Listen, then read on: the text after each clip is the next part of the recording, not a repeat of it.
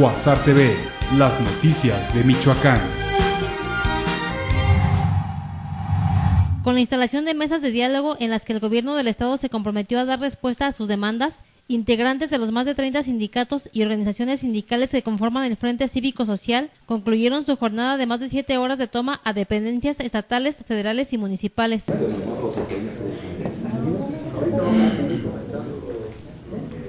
La toma que comenzó a las 8 horas de este viernes y que abarcó a más de 400 oficinas públicas de todo el estado concluyó a las 15 horas sin incidentes y sin que se extendiera bloqueos de calles o carreteras. Para Cuasar TV, Sandra Sáenz.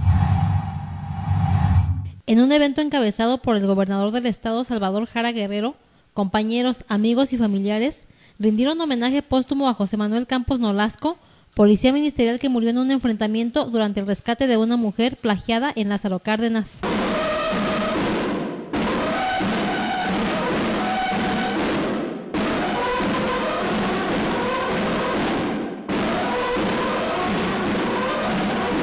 Todos los michoacanos lamentamos mucho la pérdida de un gran héroe que dio su vida en el ejercicio del deber. Reunidos en el hangar de la Procuraduría de Justicia del Estado, cientos elementos de la Policía Ministerial, su esposa con quien estaba casado desde hace tres años y sus padres dieron el último adiós al oriundo de Zamora, que llegó a las filas de la corporación hace cinco años con el firme objetivo de servir a la sociedad. Para Cuasar TV, Sandra Sáenz.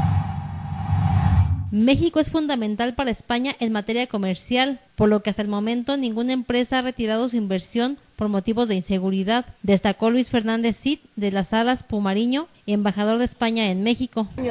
No hay ninguna empresa que sea española que se haya ido de aquí por Gracias. Es decir, hay un gran intercambio entre nuestros dos países.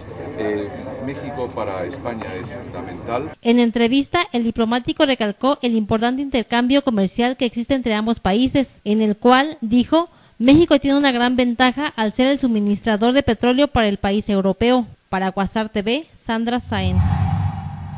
Luego de que la Procuraduría de Justicia del Estado se declaró incompetente para conocer del tema, será la PGR la encargada de realizar las investigaciones del enfrentamiento donde perdió la vida el policía ministerial José Manuel Campos Nolasco. Nos declaramos incompetentes para conocer del tema, recabamos las primeras diligencias y se lo turnamos a, la, PGR, pues con el antecedente de que este fue un, un enfrentamiento con un un grupo criminal. En entrevista, el procurador de justicia del Estado, Martín Godoy Castro, informó que en el desglose emitido a la dependencia federal se confirmó la muerte de una mujer que había resultado lesionada durante el enfrentamiento y la detención de cuatro presuntos plagiarios. Para Cuasar TV, Sandra Sáenz.